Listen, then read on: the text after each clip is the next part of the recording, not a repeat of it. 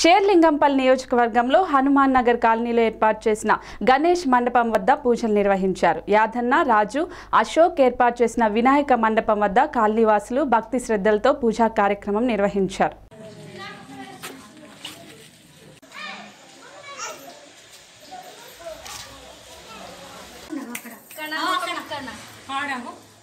రాజు ఇక్కడ